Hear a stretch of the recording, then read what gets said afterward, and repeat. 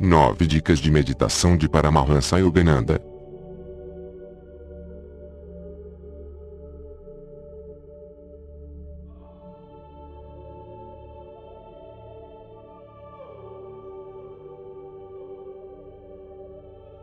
Um, meditar profundamente por um período curto é melhor do que meditar por longas horas com a mente distraída.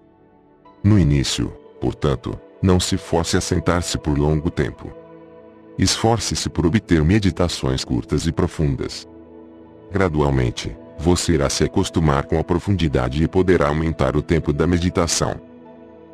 2. Não se sinta mal se você se encontrar muito inquieto para meditar profundamente.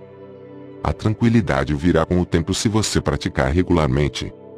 Portanto, nunca aceite o pensamento de que meditação não é para você. Lembre-se de que a calma é a sua verdadeira natureza eterna. 3. Um discípulo estava tendo dificuldades com suas meditações. Ele perguntou a Sri Yogananda. Será que não estou me esforçando bastante? O mestre respondeu.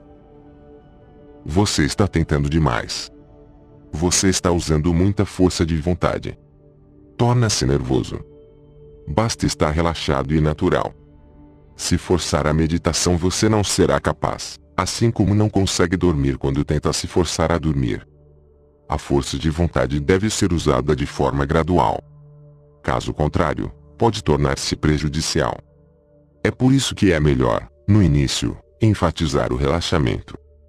Não fique animado ou impaciente em seus esforços para encontrar Deus. Seja sincero, mas não ansioso sobre a obtenção de resultados. Seja paciente. Mova-se em direção à sua meta divina sempre com calma e tranquilidade. 4. Um devoto estava tendo dificuldades em permanecer acordado durante a meditação. Para ele, Yogananda fez esta sugestão. Esprema seus olhos fechados diversas vezes, depois, abra-os bem e olhe para frente. Repita esta prática uma ou duas vezes mais. Se você fizer isso, a sonolência deixará de incomodá-lo.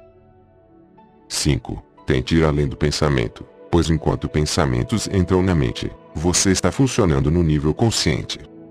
Quando sonhando, você está no subconsciente. Em seguida, você está mais consciente no corpo astral. Quando sua consciência se recolhe mais profundamente na superconsciência, então você está centrado na felicidade, na coluna vertebral. Nesse estado de êxtase, você está ciente do corpo causal, alma, 6. A alma ama meditar pois no contato com o espírito reside a sua maior alegria. Se, em seguida, você experimentar resistência mental durante a meditação, lembre-se que a relutância em meditar vem do ego, não pertence à alma. 7. Quem quer ser um pianista de concerto, terá que praticar ao piano 12 horas por dia. Se, em vez disso, a sua prática consiste em teclar sem entusiasmo por alguns minutos todos os dias, nunca será um bom pianista. É assim que deve ser sua busca por Deus.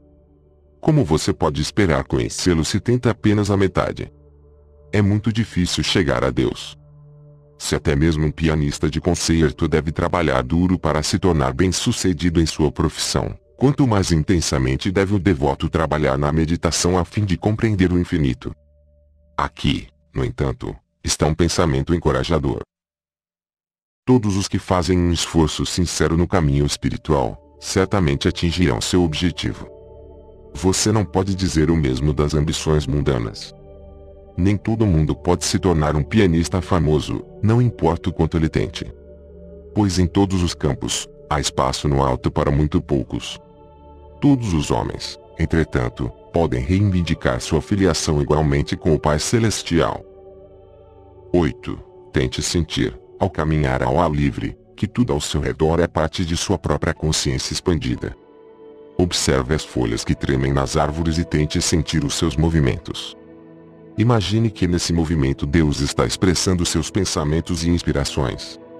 Veja as gramas do prado como elas tremulam no vento. Imagine a brisa como a respiração de Deus soprando sobre o mundo, inspirando a todos os seres e dando-lhes vida. Ouça o canto dos pássaros. Sinta que Deus, através de suas canções, está tentando alcançá-lo com sentimentos de alegria divina. Seja consciente dos raios do sol sobre sua pele.